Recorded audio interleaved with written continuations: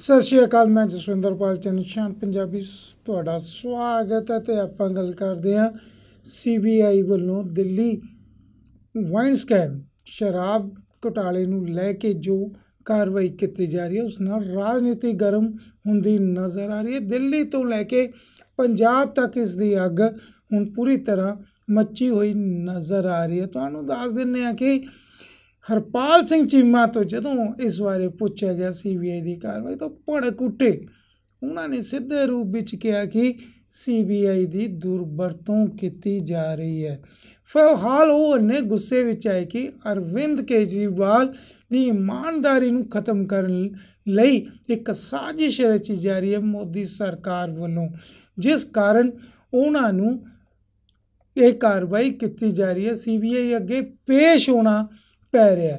ਤੁਹਾਨੂੰ ਦੱਸ ਦਿੰਦੇ ਹਾਂ, ਫਿਲਹਾਲ ਜਿਹੜੀ ਜਾਣਕਾਰੀ ਮਿਲੀ ਹੈ ਕਿ 9 ਘੰਟੇ ਲਗਾਤਾਰ ਪੁੱਛਗਿੱਛ ਕੀਤੀ ਗਈ ਅਰਵਿੰਦ ਕੇਜਰੀਵਾਲ ਤੋਂ। ਇੰਦਰ, ਅਰਵਿੰਦ ਕੇਜਰੀਵਾਲ ਨੇ ਭਾਵੇਂ ਬਾਹਰ ਨਿਕਲ ਕੇ ਕਿਹਾ ਕਿ ਉਹ ਇਮਾਨਦਾਰ ਨੇ ਤੇ ਸੀਬੀਆਈ ਵੀ ਕਿਸੇ ਤਰੀਕੇ ਨਾਲ ਉਹਨਾਂ ਵਿਰੁੱਧ ਸਾਜ਼ਿਸ਼ ਰਚ ਕੇ ਉਹਨਾਂ ਨੂੰ ਫਸਾ ਨਹੀਂ ਸਕਦੀ ਕਿਉਂਕਿ ਸੀਬੀਆਈ ਕੋਲ ਜੋ ਵੀ ਹੈ ਝੂਠਾ ਇਹ ਕਹਿਣਾ ਸੀ ਕੇਜਰੀਵਾਲ ਦਾ ਤੇ ਹੁਣ ਹਰਪਾਲ ਸਿੰਘ ਚੀਮਾ ਵੀ ਇਸ ਤੇ ਗਰਮ ਹੁੰਦੇ ਨਜ਼ਰ ਆਏ। ਉਹਨਾਂ ਨੇ ਕਿਹਾ ਕਿ ਮੋਦੀ ਸਰਕਾਰ ਨੂੰ ਡਰ ਹੈ ਕਿ ਆਉਣ ਵਾਲਾ ਪ੍ਰਧਾਨ ਮੰਤਰੀ ਹੈ ਜੇ ਉਹ ਹੈ ਅਰਵਿੰਦ ਕੇਜਰੀਵਾਲ, ਜਿਸ ਤੋਂ ਬੁਖਲਾਹਟ ਚਾ ਕੇ ਮੋਦੀ ਸਰਕਾਰ ਵੱਲੋਂ ਸੀਬੀਆਈ ਨੂੰ ਇਹ ਜਿਹੇ ਨਿਰਦੇਸ਼ ਦਿੱਤੇ ਜਾ ਰਹੇ ਨੇ, ਜਿਨ੍ਹਾਂ ਦੇ ਨਿਯਮਾਂ ਦੀ ਸਿੱਧੀ ਉਲੰਘਣਾ ਕੀਤੀ ਜਾ ਰਹੀ ਹੈ। ਫਿਲਹਾਲ ਤੁਹਾਨੂੰ ਦੱਸ ਦਿੰਦੇ ਹਾਂ, ਇਸ ਮਾਮਲੇ ਤੇ ਤੱਤੇ ਹੋਏ ਹਰਪਾਲ ਸਿੰਘ ਚੀਮਾ ਨੇ ਮੋਦੀ ਸਰਕਾਰ ਅਤੇ ਸੀਬੀਆਈ ਨੂੰ ਕਿਹਾ ਕਿ ਉਹ ਨਿਯਮਾਂ ਦਾ ਧਿਆਨ ਰੱਖਣ?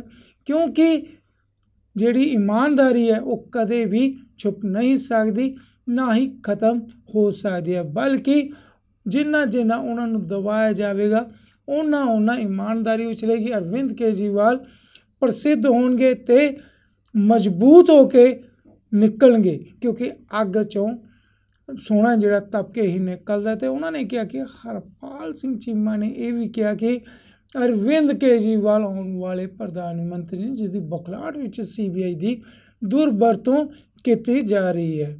ਉਹਨਾਂ ਨੇ ਮੋਦੀ ਸਰਕਾਰ ਨੂੰ ਚੇਤਾਵਨੀ ਦਿੰਦੇ ਹੋਏ ਵੀ ਕਿਹਾ, ਇਹ ਜੀਆਂ ਸਾਜ਼ਿਸ਼ਾਂ ਬੰਦ ਕਰਨ, ਅਰਵਿੰਦ ਕੇਜਰੀਵਾਲ ਵਰਗੇ ਇਮਾਨਦਾਰ ਬੰਦੇ ਨੂੰ ਤੰਗ ਨਾ ਕਰਨ, ਕਿਉਂਕਿ ਇਸ ਤੇ ਜਦੋਂ ਸਤਾ ਬਦਲੇਗੀ ਤਾਂ ਇਸ ਦਾ ਜਵਾਬਦੇਹੀ ਮੋਦੀ ਸਰਕਾਰ ਅਤੇ ਸੀਬੀਆਈ ਨੂੰ ਵੀ ਦੇਣਾ ਪੈਣਾ ਫਿਲਹਾਲ ਦੇਖਦੇ ਹਾਂ ਇਸ ਜਿਹੜਾ ਰਿਐਕਸ਼ਨ ਆਇਆ ਹਰਪਾਲ ਸਿੰਘ ਚੀਮਾ ਦਾ ਇਹ ਤੇ ਕੀ ਕਮੈਂਟ ਆਉਂਦੇ ਨੇ, ਕੀ ਪ੍ਰਤੀਕਿਰਿਆਵਾਂ ਆਉਂਦੀਆਂ ਨੇ ਤਦ ਤੱਕ ਮੈਨੂੰ ਦਿਓ ਇਜਾਜ਼ਤ, ਤੁਸੀਂ ਦੇਖਦੇ ਰਹੋ ਚੈਨਲ ਸ਼ਾਨ ਪੰਜਾਬੀ ਮਾਨ ਪੰਜਾਬ ਦਾ, ਧੰਨਵਾਦ। ਬੀਜੇਪੀ ਦੀ ਇਸੇ ਹਿਟਲਰਸ਼ਾਹੀ ਸਰਕਾਰ ਤੋਂ ਤਿੰਨ ਕਾਲੇ ਕਾਨੂੰਨ ਵਾਪਸ ਕਰਵਾਏ ਸੀ ਅੱਜ ਉਸੇ ਬਾਰਡਰ ਦੇ ਉੱਤੇ, ਫੇਰ ਇੱਕ ਵਾਰ ਤਾਨਾਸ਼ਾਹੀ ਰੂਪ ਜਿਹੜਾ ਉਹ ਬੀਜੇਪੀ ਦਾ ਦੇਖਣ ਨੂੰ ਮਿਲਿਆ।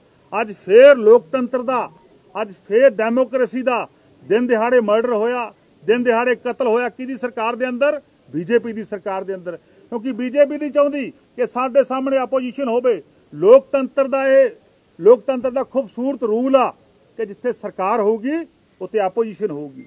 ਜੇ ਸਰਕਾਰ ਗਲਤ ਕਰੂਗੀ, ਤਾਂ ਆਪੋਜੀਸ਼ਨ ਉਹਦਾ ਵਿਰੋਧ ਕਰੂਗੀ, ਲੋਕਾਂ ਨੂੰ ਦੱਸੂਗੀ ਕਿ ਆ ਨੀਤੀਆਂ ਠੀਕ ਨੇ ਆ ਨੀਤੀਆਂ ਗਲਤ ਨੇ ਆ ਨੀਤੀਆਂ ਤੁਹਾਡੇ ਲਈ ਕਾਰਗਰ ਲੱਗੀਆਂ। ਕੰਸਟਰਕਟਿਵ ਭੂਮਿਕਾ ਵੀ ਨਿਭਾਊਗੀ। ਔਰ ਜਿੱਥੇ ਸਰਕਾਰ ਗਲਤ ਕਰੂਗੀ ਤਾਂ ਸਰਕਾਰ ਦਾ ਵਿਰੋਧ ਵੀ ਜਿਹੜਾ ਹੋਊਗਾ। ਪਰ ਲੇਕਿਨ ਦੇਸ਼ ਦੇ ਅੰਦਰ ਇਲੈਕਸ਼ਨ ਦਾ ਸਮਾਂ ਆ ਚੁੱਕਿਆ ਹੈਗਾ। 2024 ਦੀ ਇਲੈਕਸ਼ਨ ਸਿਰ ਦੇ ਉੱਤੇ ਆ। ਉਸ ਇਲੈਕਸ਼ਨ ਦੇ ਵਿੱਚ ਵਿਰੋਧੀ ਧਿਰਾਂ ਨੂੰ ਆਪੋਜੀਸ਼ਨ ਦੇ ਧਿਰਾਂ ਦੇ ਲੀਡਰ ਸਹਿਬਾਨ ਨੂੰ ਜਿੰਨੇ ਵੀ ਨੇ, ਉਹਨਾਂ ਨੂੰ ਰੋਕਣ ਦੇ ਲਈ ਕਿ ਉਹ ਇਲੈਕਸ਼ਨਾਂ ਦੇ ਵਿੱਚ ਭਾਗ ਨਾ ਲੈ ਸਕਣ ਡੈਮੋਕ੍ਰੇਸੀ ਦਾ ਪਾਰਟ ਨਾ ਬਣ ਸਕਣ। ਅੱਜ ਦਿਨ ਦਿਹਾੜੇ ਡੈਮੋਕ੍ਰੇਸੀ ਦਾ ਕਤਲ ਜਿਹੜਾ, ਉਹ ਦੇਸ਼ ਦੇ ਪ੍ਰਧਾਨ ਮੰਤਰੀ ਦੀ ਜਿਹੜੀ ਜੋੜੀ ਆ, ਅਮਿਤ ਸ਼ਾਹ ਤੇ ਮੋਦੀ ਦੀ ਜੋੜੀ ਆ, ਜਿਹੜੀ ਮੈਂ ਸਮਝਦਾ ਤਾਨਾਸ਼ਾਹੀ ਦੀ ਜੋੜੀ ਆ, ਦੋ ਤਾਨਾਸ਼ਾਹ ਦੇਸ਼ ਨੂੰ ਜਿਹੜਾ ਅੱਜ ਬਰਬਾਦ ਕਰ ਰਹੇ ਨੇਗੇ, ਉਹ ਜੋੜੀ ਦਾ ਦੇਸ਼ ਦੇ ਦਿਨ ਦਿਹਾੜੇ ਜਿਹੜਾ ਇੱਕ ਡੈਮੋਕ੍ਰੈਟਿਕ ਰਾਈਟ ਆ, ਡੈਮੋਕ੍ਰੈਟਿਕ ਰਾਈਟ ਆ ਲੋਕਾਂ ਦਾ। ਅੱਜ ਉਦੋਂ ਵੀ ਜਿਹੜਾ ਹੈਗਾ ਰੋਕਿਆ, ਅੱਜ ਬਹੁਤ ਸਾਰੇ ਲੀਡਰ ਪੰਜਾਬ ਦੇ, ਅੱਜ ਬਹੁਤ ਸਾਰੇ ਮਿਨਿਸਟਰ ਸਹਿਬਾਨ ਅੱਜ ਪੰਜਾਬ ਦੇ, ਅੱਜ ਬਹੁਤ ਸਾਰੇ ਸਾਡੇ ਐਮਐਲਏ ਸਹਿਬਾਨ, ਅੱਜ ਬਹੁਤ ਸਾਰੇ ਸਾਡੇ ਵਲੰਟੀਅਰ ਸਾਥੀ ਸਹਿਬਾਨ, ਜ਼ਿਲ੍ਹਾ ਪ੍ਰਧਾਨ ਸਹਿਬਾਨ, ਅੱਜ ਦਿੱਲੀ ਦੀਆਂ ਵੱਖ-ਵੱਖ ਜੇਲ੍ਹਾਂ ਦੇ ਅੰਦਰ, ਵੱਖ-ਵੱਖ ਥਾਣਿਆਂ ਦੇ ਅੰਦਰ ਬੀਜੇਪੀ ਨੇ ਉਹ ਬੰਦ ਕੀਤੇ ਨੇਗੇ ਕਿਉਂ ਕਿਉਂਕਿ ਦੇਸ਼ ਦੇ ਅੰਦਰ ਇੱਕ ਪ੍ਰੋਟੈਸਟ ਨਾ ਹੋਵੇ ਦੇਸ਼ ਦੇ ਸਾਹਮਣੇ ਤਸਵੀਰ ਸਾਫ਼ ਨਾ ਹੋਵੇ ਕਿ ਕਿਸ ਤਰ੍ਹਾਂ ਬੀਜੇਪੀ ਜਿਹੜੀ ਆ ਉਹ ਦੇਸ਼ ਨੂੰ ਖਤਮ ਕਰਨਾ ਚਾਹੁੰਦੀ ਆ ਇੱਕ ਆਮ ਆਦਮੀ ਪਾਰਟੀ ਆ ਅਰਵਿੰਦ ਕੇਜਰੀਵਾਲ ਜੀ ਦਾ ਵਿਜ਼ਨ ਆ ਕਿ ਦੇਸ਼ ਨੂੰ ਇੱਕ ਨੰਬਰ ਦਾ ਬਣਾਉਣਾਗਾ ਸੰਸਾਰ ਦੇ ਵਿੱਚ ਸਭ ਤੋਂ ਵਧੀਆ ਦੇਸ਼ ਕੀ ਹੋਣਾ ਚਾਹੀਦਾ ਭਾਰਤ ਹੋਣਾ ਚਾਹੀਦਾ ਭਾਰਤ ਦੀ ਸੰਸਕ੍ਰਿਤੀ ਇੰਨੀ ਵਧੀਆ ਗਈ ਕਿ ਦੇਸ਼ ਦਾ ਦੇਸ਼ ਇੱਕ ਨੰਬਰ ਬਣ ਕੇ ਸੰਸਾਰ ਦੇ ਉੱਤੇ ਭਾਰਤ ਦਾ ਝੰਡਾ ਚੂਲੇ ਪਰ ਲੇਕਿਨ ਦੂਜੇ ਪਾਸੇ ਬੀਜੇਪੀ ਦੀਆਂ ਹਿਟਲਰਸ਼ਾਹੀ ਨੀਤੀਆਂ, ਮੋਦੀ ਸਾਹਿਬ ਦੀਆਂ ਹਿਟਲਰਸ਼ਾਹੀ ਨੀਤੀਆਂ ਜਿਹੜੀਆਂ ਨੇਗੀਆਂ ਉਹ ਇਹ ਕੰਮ ਕਰ ਰਹੀਆਂ ਨੇ ਕਿ ਜਿੰਨੇ ਆਪੋਜੀਸ਼ਨ ਦੇ ਲੀਡਰ ਨੇ ਉਹਨਾਂ ਨੂੰ ਜਿਹੜਾ ਹੈ ਕਿ ਜੇਲ੍ਹਾਂ 'ਚ ਰੱਖਿਆ ਜਾ ਰਿਹਾ। ਜਿਹੜੀ ਨੀਤੀ, ਜਿਹੜੀ ਸ਼ਰਾਬ ਦੀ ਨੀਤੀ ਦੀ ਗੱਲ ਕਰਦੇ ਨੇਗੇ ਬੀਜੇਪੀ ਵਾਲੇ, ਜਿਹੜੀ ਸ਼ਰਾਬ ਦਾ ਕਪ- ਕਪੜੇ ਦੀ ਗੱਲ ਕਰਦੇ ਨੇਗੇ, ਮੈਂ ਤੁਹਾਡੇ ਸਾਹਮਣੇ ਬੈਠਾਂਗਾ। ਜਦੋਂ ਦਿੱਲੀ ਦੇ ਵਿੱਚ ਐਲਜੀ ਸਹਿਬਾਨ ਨੇ, ਜਦੋਂ ਉੱਥੇ ਦੀ ਸਰਕਾਰ ਨੇ, ਉਹੀ ਨੀਤੀ ਨੂੰ ਲਾਗੂ ਕਰਨ ਤੋਂ ਰੋਕਿਆ ਗਿਆ। ਉੱਥੇ ਕੋਈ ਨਾ ਕੋਈ ਹੱਥਕੰਡੇ ਖੜੇ ਕੀਤੇ ਗਏ। ਜਦੋਂ ਸਰ- ਉਹੀ ਨੀਤੀ ਉਹੀ ਸੇਮ ਨੀਤੀ ਪੰਜਾਬ ਦੇ ਅੰਦਰ ਲਾਗੂ ਹੁੰਦੀ ਆ ਔਰ ਪੰਜਾਬ ਦੇ ਅੰਦਰ ਇੱਕ ਇਮਾਨਦਾਰ ਸਰਕਾਰ ਲਾਗੂ ਕਰਦੀ ਹੈਗੀ ਔਰ ਉਹੀ ਨੀਤੀ ਪੰਜਾਬ ਦੇ ਅੰਦਰ ਸਫਲ ਹੋ ਜਾਂਦੀ ਆ। ਉਹੀ ਸ਼ਰਾਬ ਦੀ ਨੀਤੀ, ਸੇਮ ਨੀਤੀ ਜਿਹੜੀ ਦਿੱਲੀ ਦੇ ਐਲਜੀ ਸਹਿਬਾਨ ਦੇ ਕਾਰਨ, ਦਿੱਲੀ ਦੇ ਵਿੱਚ ਬੀਜੇਪੀ ਦੀ ਇੰਟਰਫੀਰੈਂਸ ਦੇ ਕਾਰਨ ਜਿਹਨੂੰ ਫੇਲ ਕੀਤਾ ਜਾਂਦਾ ਜਾਂਦਾਗਾ ਉਹੀ ਨੀਤੀ, ਸੇਮ ਨੀਤੀ, ਸੇਮ ਪੈਟਰਨ ਦੇ ਉੱਤੇ ਜਦੋਂ ਪੰਜਾਬ 'ਚ ਲਾਗੂ ਹੁੰਦੀ ਹੈ ਤਾਂ ਪੰਜਾਬ ਦੇ ਅੰਦਰ ਪਹਿਲੀ ਵਾਰ ਰੈਵਨਿਊ ਜਿਹੜਾ 41.41% ਦਾ ਵਾਧਾ ਹੁੰਦਾ ਹੈ ਇਹ ਬਹੁਤ ਵੱਡੀ ਗੱਲ ਆ ਗਈ ਜਿਸ ਨੀਤੀ ਨੂੰ ਉੱਤੇ ਫੇਲ ਕਰਨ ਦਾ ਯਤਨ ਕੀਤਾ ਗਿਆ, ਉਹੀ ਨੀਤੀ ਪੰਜਾਬ ਦੇ ਅੰਦਰ ਕਾਮਯਾਬ ਹੋਈ 41.41% ਦਾ ਵੱਡਾ ਵਾਧਾ ਪੰਜਾਬ ਦੇ ਅੰਦਰ ਰਜਿਸਟਰ ਕੀਤਾ ਗਿਆ ਗਾ ਕਿਉਂਕਿ ਬੀਜੇਪੀ ਨਹੀਂ ਚਾਹੁੰਦੀ ਕਿ ਦੇਸ਼ ਦੇ ਅੰਦਰ ਸ਼ਰਾਬ ਦਾ ਮਾਫੀਆ ਖਤਮ ਹੋਵੇ। ਬੀਜੇਪੀ ਨਹੀਂ ਚਾਹੁੰਦੀ ਕਿ ਮਾਫੀਆ ਰਾਜ ਦਾ ਖਾਤਮਾ ਹੋਵੇ। ਜਿਹੜੇ ਮਾਫੀਆ ਰਾਜ ਪੁਰਾਣੀਆਂ ਪਾਰਟੀਆਂ ਨੇ ਪਾਲੇ ਹੋਏ ਨੇ, ਅੱਜ ਉਹੀ ਮਾਫੀਆ ਜਿਹੜੇ ਹੈਗੇ ਦੇਸ਼ ਦੇ ਅੰਦਰ ਬੀਜੇਪੀ ਨੂੰ ਸਹਾਰਾ ਲੈ ਕੇ ਅੱਗੇ ਵਧ ਰਹੀ ਹੈਗੀ। ਸੋ ਮੈਂ ਅੱਜ ਜੋ ਜੋ ਅੱਜ ਕੰਡਕਟ ਜੋ ਅੱਜ ਲੋਕ ਵਿਰੋਧੀ ਚਿਹਰਾ, ਜੋ ਅੱਜ ਡੈਮੋਕ੍ਰੇਸੀ ਵਿਰੋਧੀ ਚਿਹਰਾ, ਜੋ ਅੱਜ ਦੇਸ਼ ਦੇ ਲੋਕਤੰਤਰ ਦੇ ਕਾਤਲਾਂ ਨੇ ਕੀਤਾਗਾ, ਮੋਦੀ ਸਾਹਿਬ ਦੀ ਜੋੜੀ ਨੇ ਕੀਤਾਗਾ ਬੀਜੇਪੀ ਨੇ ਕੀਤਾਗਾ, ਮੈਂ ਉਹਦੀ ਨਿੰਦਾ ਕਰਦਾਗਾ। ਪੰਜਾਬ ਦੇ ਲੋਕ, ਪੰਜਾਬ ਦੇ ਲੋਕ ਬੜੇ ਬਹਾਦਰ ਨੇ। ਇਹਨਾਂ ਨੇ ਕਈ ਵਾਰ ਅੰਗਰੇਜ਼ਾਂ ਦਾ ਮੂੰਹ ਮੋੜਿਆ। ਦੇਸ਼ ਦੀ ਆਜ਼ਾਦੀ ਦੇ ਵਿੱਚ ਸਭ ਤੋਂ ਵੱਡਾ ਯੋਗਦਾਨ ਪੰਜਾਬੀਆਂ ਨੇ ਪਾਇਆ। ਪੰਜਾਬ ਦੇ ਲੋਕਾਂ ਨੇ ਪਾਇਆ। ਪੰਜਾਬ ਦੇ ਅੰਦਰ ਮੁਗਲਾਂ ਦਾ ਮੂੰਹ ਕਿਹਨੇ ਮੋੜਿਆ? ਪੰਜਾਬੀਆਂ ਨੇ ਮੋੜਿਆ।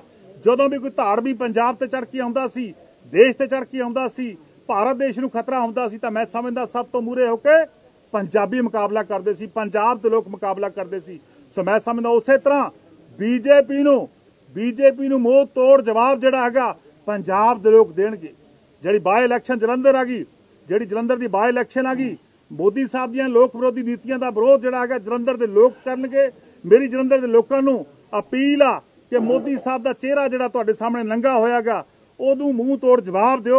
ਆਉਣ ਵਾਲੀ ਜਿਹੜੀ ਤਰੀਕ ਹੈ 10 ਤਰੀਕ ਨੂੰ, ਉਹਦੇ ਵਿੱਚ ਜੇਕਰ ਆਪਾਂ ਮੋਦੀ ਸਾਹਿਬ ਨੂੰ ਹਰਾਉਣੇ ਆ, ਬੀਜੇਪੀ ਨੂੰ ਹਰਾਉਣੇ ਆ, ਤਾਂ ਮੈਂ ਸਮਝਦਾ ਲੋਕਤੰਤਰ ਦੀ ਜਿੱਤ ਹੋਊਗੀ ਔਰ ਲੋਕਤੰਤਰ ਬਚੂਗਾ ਔਰ ਉਹਦੇ ਲਈ ਮੈਂ ਸਮਝਦਾ ਪੰਜਾਬੀ ਜਿਹੜੇ ਨੇ ਹਰ ਕੁਰਬਾਨੀ ਕਰਨ ਨੂੰ ਤਿਆਰ ਨੇ। ਜਿਸ ਤਰ੍ਹਾਂ ਪਹਿਲਾਂ ਤਿੰਨ ਕਾਲੇ ਕਾਨੂੰਨ ਦੇਸ਼ 'ਚ ਬਣਾਏ ਸੀ, ਤਾਂ ਉਸ ਸਮੇਂ ਪੰਜਾਬ ਨੇ ਅਗਵਾਈ ਕੀਤੀ ਔਰ ਇਸ ਤੋਂ ਪਹਿਲਾਂ ਮੁਗਲਾਂ ਦਾ ਟਾਕਰਾ ਪੰਜਾਬ ਨੇ ਕੀਤਾ, ਫਿਰ ਅੰਗਰੇਜ਼ਾਂ ਦਾ ਟਾਕਰਾ ਪੰਜਾਬ ਨੇ ਕੀਤਾ।